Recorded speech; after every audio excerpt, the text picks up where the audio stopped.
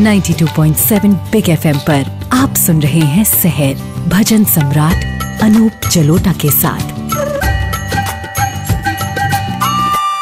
92.7 big FM पे मैं अनूप जलोटा शहर कार्यक्रम प्रस्तुत कर रहा हूँ। आज के शहर कार्यक्रम में एक बहुत सुंदर दोहा मुझे ध्यान में आया है। कबीरदास जी कहते हैं, सांच बराबर तप नहीं, झूठ बराबर पाप सांच बराबर, तप नहीं। झूठ बराबर, पाप। जाके हृदय सांच है, ताके हृदय प्रभु आप। जाके हृदय सांच है, ताके हृदय प्रभु आप। कबीरदास जी कहते हैं कि जो सच्चाई है, वही ईश्वर है। क्योंकि ईश्वर सच है तो आप अगर कभी सच बोलते हैं तो समझिए कि आप ईश्वर के साथ हैं। सांच बराबर तप नहीं बड़ी बड़ी तपस्या कर लीजिए और अगर आप झूठ बोल रहे हैं तो सब बेकार हो जाएगा। सांच बराबर तप नहीं, झूठ बराबर पाप जाके हृदय सांच है, ताके हृदय प्रभु आप। 92.7 बिग एफएम पे आप सुन रहे हैं। शहर कार्यक्रम, में अनूप जलोटा इसे प्रस्तुत कर रहा हूँ। आज आपको लेकर चलता हूँ एक बहुत खूबसूरत मंदिर जो केरला में है, अनंथापुरा लेक टेंपल। जी हाँ आपको सुन के लग रहा होगा कि चारों ओर पानी होगा और बीच में ये मंदिर होगा। अब इसकी पूरी कथा आपको सुनाता हूँ। केरला में अनंथापुरा लेक टेंपल। जी हाँ हिंदू मंदिर है और एक ऐसा मंदिर है जो लेक में है और केरला में यही एक ऐसा मंदिर है जो लेक में है। और उसके राइट कॉर्नर में एक बहुत सुंदर गुफा है। ऐसा कहा जाता है कि वो मूर्ति जो आई है यहाँ, वो गुफा से ही आई है। कथा ऐसी है कि ऋषि दिवाकरा, उन्होंने तपस्या की प्रभु के दर्शन के लिए और प्रभु नारायण वहाँ एक बच्चे के रूप में आए। ऋषि दिवाकर ने पूछा कि आप कौन हैं? उसने बताया कि मेरा ना कोई माँ है, ना बाप है, कोई रहने की जगह नहीं है। तो ऋषि दिवाकरा ने उसको अपना पुत्र मान लिया एडॉप्ट कर लिया। और अपने घर ले आए। लेकिन उस बच्चे ने कहा कि देखिए, अगर आप कभी मेरा अपमान करेंगे, मुझे डांटेंगे तो मैं चला जाऊँगा। और उसके बड़े टेंट्रम थे, बड़ा नटखट था। तो एक दिन ऋषि दिवाकरा उस बच्चे से बहुत परेशान हो गया और उसको डांट दिया। वो डांटना क्या था कि वो बच्चा तो वहाँ से गायब हो गया। और गायब कहाँ हुआ? एक पेड़ के अंदर समाहित हो गया। और उसने कहा कि अगर मुझे देखना है दोबारा तो अनंथा काट आ जाओ, वहाँ मैं तुम मेरे दोबारा दर्शन कर सकोगे। अब तो ऋषि दिवाकरा समझ गए कि ये कोई बच्चा नहीं था। ये तो ईश्वर स्वयं थे जो मेरे साथ इतने दिन रहे एक बच्चे के रूप में। जिस पेड़ में वो समाहित हुए थे, उस पेड़ ने स्वरूप ले लिया, एक जैसे शेष शैया पर भगवान लेटे हो। ऐसा स्वरूप उस पेड़ ने ले लिया। वहीं पर जो एक तालाब है, और उस तालाब में एक मगरमच्छ है। लोग उस तालाब में स्नान करते हैं, और वो मगरमच्छ किसी को नहीं तकलीफ़ देता। वो मगरमच्छ वेजिटेरियन है। वो उस तालाब की मछलियों को भी नहीं खाता है। जी हाँ ये सब तभी हो सकता है जब ईश्वर का आशीर्वाद उसे प्राप्त हो। तो आपको कभी भी अवसर मिले केरला जाने का तो अनंथापुरा लेक टेंपल ज़रूर देखिए और देख के आइए वो जो मगरमच्छ वहाँ पे तैर रहा है और वो वेजिटेरियन है, किसी को किसी तरह की तकलीफ़ नहीं देता। सब लोग वहाँ पहुँचते हैं, आशीर्वाद लेते हैं। तो 92.7 बिग एफएम पे आप सुन रहे हैं शहर कार्यक्रम। अभी आपने सुना अनंथापुरा लेक टेंपल की कहानी और अब मैं आपको एक सुनाता हूँ भजन। सुमिरन कर ले। सुमिरन कर ले। सुमिरन कर ले। सुमिरन कर ले। मेरे मना। सुमिरन कर ले।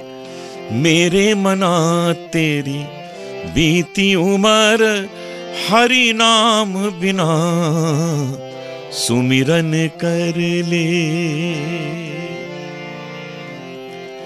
पंछी पंख बिना, हस्ति दंत बिना, नारी पुरुष बिना। जैसे पुत्र पिता बिनहीना जैसे पुत्र पिता भी नहीं ना। तैसे पुरुष हरि नाम बिना। सुमिरन कर ले, मेरे मना तेरी दीती उमर हरि नाम बिना। देह नैन बिना, रैन चंद्र बिना मंदिर दीप बिना। जैसे पंडित वेद वीना तैसे पुरुष हरि नाम बिना। सुमिरन कर ले, मेरे मना तेरी बीती उम्र हरि नाम बिना। सुमिरन कर 92.7 बिग एफएम पे आप सुन रहे हैं शहर कार्यक्रम। आपके सामने प्रस्तुत है बहुत अच्छी गायिका संजना ठाकुर। उनसे बातें भी करते हैं और उनका संगीत सुनते हैं। आप हैं संजना ठाकुर। संजना ठाकुर की विशेषता ये है कि ये केवल गायिका नहीं है। इन्होंने एक बहुत अच्छा संगीत बैले भी तैयार किया है, जिसमें मीराबाई के जन्म से लेके और कृष्ण के मूर्ति में समाहित होने तक का पूरा विवरण संगीत के साथ, नृत्य के साथ, डायलॉग के साथ तैयार किया है, जो बहुत सुंदर बैले है। और हम चाहेंगे कि जब भी आप लोगों को अवसर मिले आप उसको ज़रूर सुने क्योंकि उसमें मैंने भी गाया है और उसमें इन्होंने स्वयं संजना जी ने स्वयं गाया है मैंने उसमें संगीत भी दिया है। तो आज संजना जी आपके बारे में पहले थोड़ा और जानना है कि आपने संगीत किससे किससे सीखा? आ, नमस्ते अनूप जी बहुत अच्छा लग रहा है मुझे आज यहाँ पे आके क्योंकि ये आ, आपने हमें दूसरी बार बुलाया है और ये मेरा सौभाग्य है कि मैं आज यहाँ पे आकर वापस गाऊँगी। तो आ, मैंने संगीत सीखा है मधुमती पाटनकर जी से हम्म। और कुछ साल मैंने सीखा मधुकर जोशी जी से। अच्छा, और अच्छा। अभी मैं आपके साथ भी सीख रही हूँ। बिल्कुल आप तो हमेशा ही सीखती रहेंगी और गाती रहेंगी। हम लोगों ने कितने कार्यक्रम कर लिए साथ में? जी जी। और करते ही रहेंगे। तो आपने अपने परिवार में भी संगीत देखा है और लोग भी गाते हैं? आ, मेरे परिवार में मेरी माँ संगीत विशारद है। उन, अच्छा। बहुत अच्छा गाती थी वो क्लासिकल अ, अब जबकि ज़्यादा नहीं गाती बट उनकी आवाज़ अभी भी बहुत अच्छी है। और यहाँ पे तो मेरे हस्बैंड और मेरी पूरी फैमिली डॉक्टर्स की है। हम्म। तो यहाँ पे गाना कोई नहीं गाता बट गाना समझते हैं लोग। तो और पसंद भी करते हैं मुझे सपोर्ट भी करते हैं। तो बस इसलिए गाती हूँ कोशिश करती हूँ और अच्छा गाने की। तो आज आप हमको क्या सुनाने वाली अनुज जी ज्योति कलश छल के सुधीर फड़के जी की जी जी।